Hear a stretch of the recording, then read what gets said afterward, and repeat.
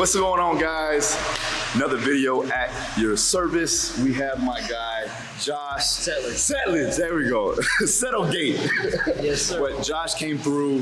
He is originally from Super Training and now branched out doing his own thing. He came, did the podcast with us. He's got his boys at Pan Am's. They just got done with their competition. But today I wanted to bring him on to showcase some of the shoulder, what you would say, shoulder exercises for health and for grapplers in general, because a lot of these guys definitely get dinged up, got kyphotic posture, things like that. So he's gonna run you through some exercises that he utilizes with his grapplers and his athletes to keep them safe and to keep them on the mats. So Josh, take it away. Thank you, Phil. So these three exercises are designed to help you decrease your overall risk of injury, help your shoulders be more resilient. We've all been put in positions where maybe some uh, lovable spazzy white belt maybe cranked our shoulder a little too hard and it either pulled us off the mat for a little bit of time or maybe didn't pull us off the mat, but it was giving us some issues and it hindered our performance on the mat going forward.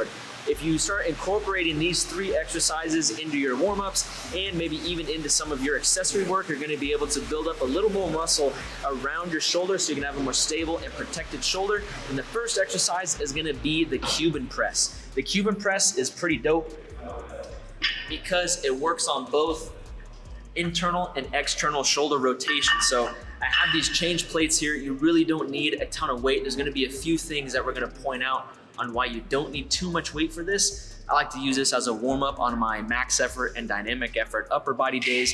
And I also use it as an accessory exercise for those upper body workouts as well. So what we're gonna do is we're gonna take our change plates and we're gonna stand nice and tall. We're gonna keep our shoulders back and our chest up, and we're gonna go into the hang position, which is right here. You'll see that my elbows are essentially in line with my shoulders. I don't wanna be way up here like this, like I'm doing an upright row, and I don't wanna be down here. If you're someone who maybe has some shoulder mobility issues where you can't get your elbows up all the way, you may need to address that before you work into this exercise. But assuming that your shoulder mobility is pretty good, you're gonna start by bringing the weight up into the hang position. From here, you're gonna keep your elbows high as you rotate, externally rotate your shoulders into this scarecrow position. There's a big thing here that I see a lot of athletes doing and something that they kind of get wrong when they do this exercise is that they compensate by dipping their shoulder or their elbows down to get their hands up. We wanna eliminate that as much as possible. We wanna keep our elbows high in this hang position as we rotate our palms to face forward. And then from there, you're gonna press overhead. You can make the dumbbells or the plates touch each other at the top. You can keep your palms forward, whatever feels best for you. But once you finish that press position, you'll bring it back down to 90 degrees. And then you're gonna rotate, internally rotate the shoulder, keeping your elbows high in that hang position. And then you're gonna bring it all the way down. One more time through. Bring your elbows up into that high hang position. Notice how my elbows are pretty closely in line with my shoulders. Without dropping my elbows, I'm gonna rotate to where my hands face the wall in front of me. I have a 90 degree angle in my elbow, 90 degree angle in my shoulder. From right there, pressing overhead, coming back down to 90 degrees. Now here's something that a lot of athletes make the mistake of doing as well with this exercise. I'll turn from the side so you can see. They round their upper back when they bring the plates back down. And what this does is this prevents them from getting a little bit of a stretch and some of that control that they need at the bottom for shoulder internal rotation. If you think about this, this is a Kimura position, this is an Americana position. If you could build strength and stability through this range of motion, I'm not gonna say that no one's ever gonna Kimura you, but your shoulders will be a little bit more durable to help decrease your overall risk of injury. So this is the first one, the Cuban press. One of my favorites, again, you can add this as a warm-up exercise on your upper body workouts or as an accessory movement for some more restorative work.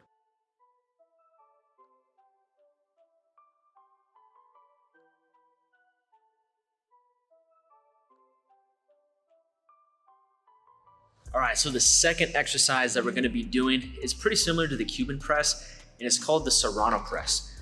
I'm not sure who Mr. Serrano is. and I don't know if it came from Dr. Eric Serrano, but if it did, thank you, Dr. Eric Serrano. If it didn't, you can take the credit anyway.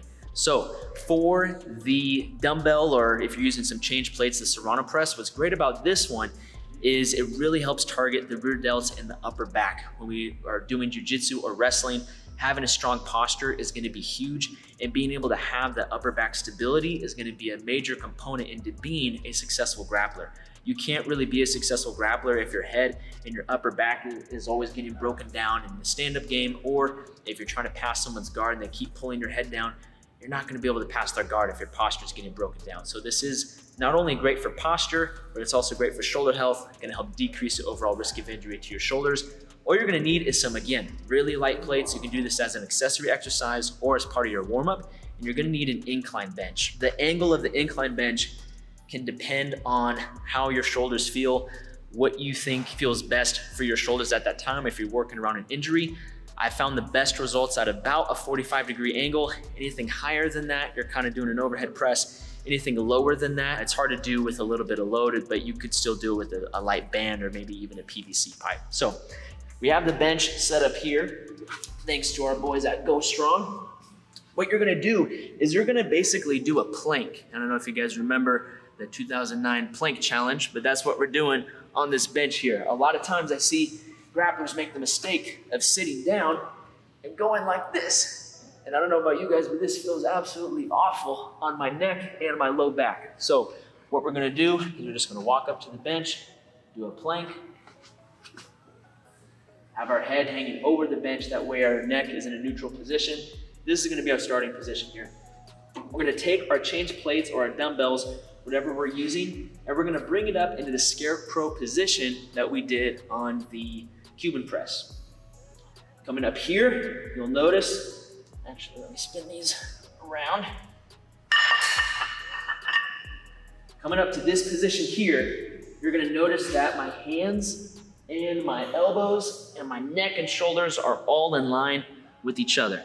I'm not bringing them up this way. I'm not bringing them up way up here. It's kind of hard for me to do because my traps are so big. But we're gonna bring them up into this same angle of my spine and my neck. And then all I'm gonna do, I'm gonna press out in front and bring it back. Press it out in front and bring it back. A couple things to remember. As fatigue starts to set in on this exercise, I see a lot of athletes, they get tired and they end up kind of punching the weights out and punch out in front not up at an angle. So they end up going like this because it sucks and it burns and it really hurts sometimes in the best of ways. If that's the case, you either need to decrease the weight a little bit so you can have better control, being able to maintain stability of the weight, and being able to continue pressing at that same angle. You wanna hold it out in that extended position for about a second or two, just so you can build up the isometric strength in your upper back your rear delts and the other stabilizing muscles of your shoulder so you can develop more stability, which means you're gonna help decrease your overall risk of injury.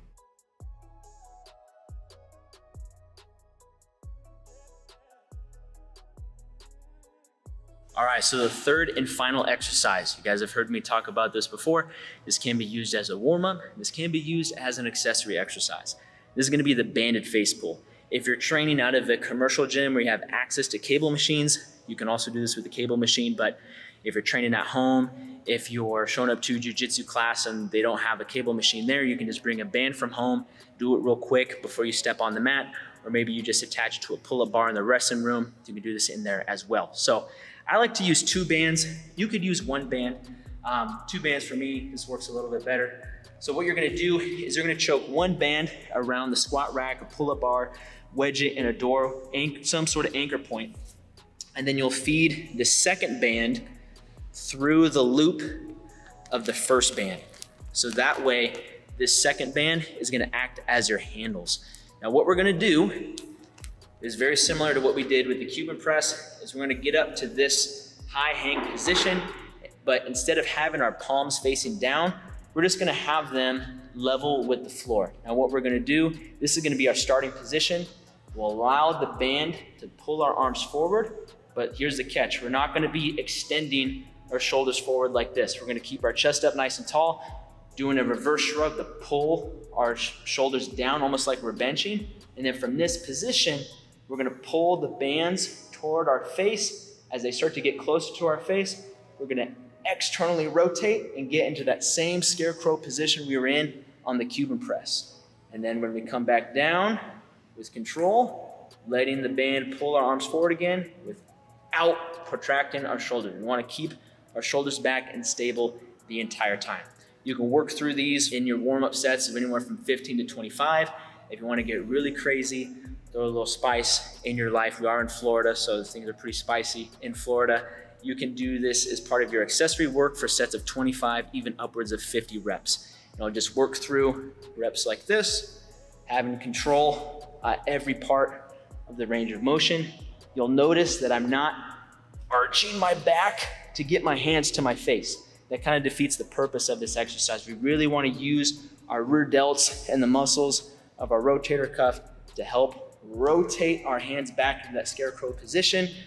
If you start to get a little fatigued and your form starts to break down, what's great about using a band is you can take some of the tension off by taking a step forward, do it again with a little lighter resistance. That's gonna be the banded face pull. All right, guys, that's a wrap. Josh, thank you so much. So take these three exercises with you, especially if you are a grappler. I highly recommend it. It's actually some of the exercises that are in Ground Control, my BJJ program. If you want to find out more details on that, also you want to learn some more of the systems and methods that I utilize for my athletes, the mentorship down below. Link is in the description to sign up. Josh, tell them where they can find you at. Thank you for having me, Phil. You guys can follow me TikTok, Instagram, anywhere else I'd want you to find me. At Joshua Settlage, that's J O S H U A S E T T L A G E. You can check out my website, settlagestrength.com, and my YouTube channel, Settlage Strength, the BJJ Strength Coach. Subscribe, hit the notification, hit the like button. See you again next time. Peace.